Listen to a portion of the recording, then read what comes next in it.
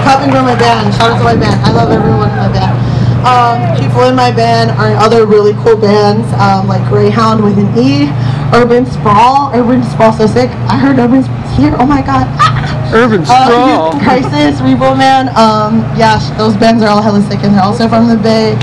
Um, we play really fast because all our songs are like a minute, so we only have one more song, uh, and it's a new song, and I'm really excited to share it uh, with y'all. But I did want to talk about like the space, and it's called Kapwa Gardens, and I think that's really cool. Um, and for those of you who don't know what Kapwa means, it comes from this term called Pakiki, Kapwa, which is about um, post-colonial studies of trauma and like uh, it's not just about struggle, but also resistance and a rejection of the Western binaries of I and they and self and other. It's about shared and collective identity, right? Um, but just because like we're in the same space doesn't mean we're in community with each other, right? Uh, what does it mean to be an advocate if you only advocate for people who look like you?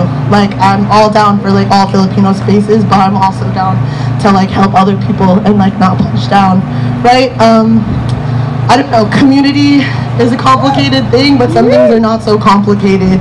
Um, calling the police on people is fucked up. I don't want to be in community with people who call the police on people. Um, so I guess if you're into saying the right words, but you're not into say, doing the right things, this song is for you. Thank you.